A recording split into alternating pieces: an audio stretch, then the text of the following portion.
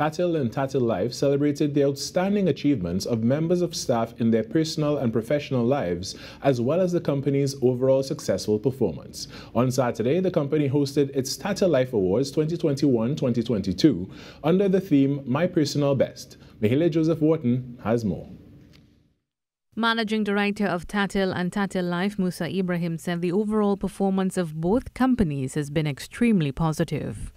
Underwriting performance in Tatil still on general, improved 150% over the prior period. And profit before tax for Q1 um, was $16 million versus a prior year loss of 7 million. So a significant movement.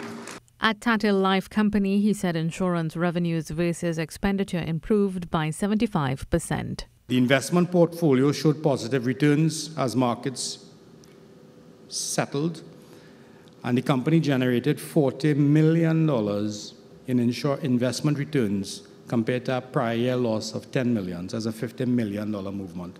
He said the profitability of Tatil Life improved by 150% from a loss last year of 41 million to a profit of 25 million dollars. Leadership behavior change expert and life coach Shane Ram offered words of encouragement to all in attendance to continue to achieve their personal best.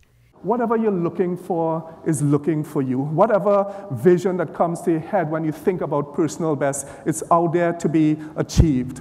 Okay, so now that you've connected with your ultimate potential, you have a vision for what you want to achieve. The next element that you need is, is the fuel to keep you going. He said while many may use motivation as their fuel, it's not sustainable when an individual has a big vision. So, what do we replace motivation with? Well, I think that the thing that is going to give you longevity of energy to pursue that vision is something called your why. And I know it sounds kind of cliche, but your why is going to give you the energy. Sales agents were recognized for their performance between 2021 to 2022. Long service, persistency, and champion awards were also given to respective employees. Mahalia Joseph Wharton, TTT News.